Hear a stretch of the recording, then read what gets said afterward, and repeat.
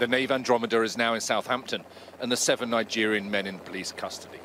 The decision to launch the Special Forces rescue mission was taken mid-afternoon on Sunday. A few hours later, it was all over. Ship secured, crew safe, stowaways detained. The whole operation took under 10 minutes from start to finish. I can't really comment on the operational details. What I can say is that uh, I think both the police and the uh, armed forces did a fantastic job, and I, I, thank them very, very much for what they did to uh, keep our shores safe. The Nave Andromeda was carrying 22 crew members and was en route from Lagos in Nigeria and due to dock near Southampton at 10:30 on Sunday morning. But then at about 9 a.m., the captain made a mayday call saying that stowaways on board had turned violent. Hampshire police were alerted at 10.04. But tracking images showed the vessel started to steer an erratic course over the next few hours. The SBS operation to end the standoff began just after 7 pm, once darkness had settled and as the weather was just starting to turn bad. Four military helicopters, thought to include two Merlin Mark IVs, a Wildcat, and a Chinook, took 40 personnel to the scene from the SBS's base in Poole.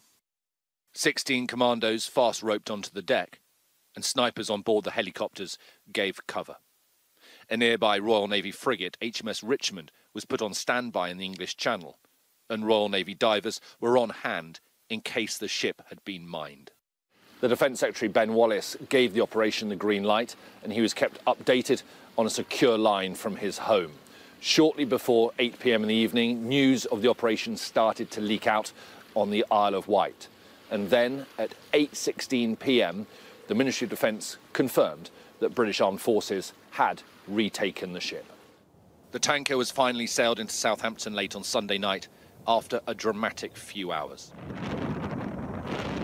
The SBS know the waters around the Isle of Wight like the backs of their hands.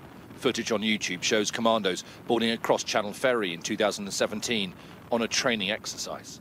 It is not uncommon to see them exercising around the Solent in the English Channel, practicing assaults on cargo ships, tankers and cruise liners. It sounds uh, actually a, sh- uh, a, short time, but it's actually quite a long time um, for an op- for an operation like that because you know you've got your approaches, you've got to coordinate your approaches, then you've got to exit your vehicles, be it boat or helicopter, then you've got to touch down onto the actual vessel or climb the vessel, and then you've got to make your respective uh, objectives. Um, and on a on a superstructure like that, you know, there's several floors, and so there's quite a lot of area to cover. The seven Nigerians are now being questioned by police, and after an unusually public operation, the SBS have gone back into the shadows. Job done. Alistair Bunkall, Sky News, Southampton.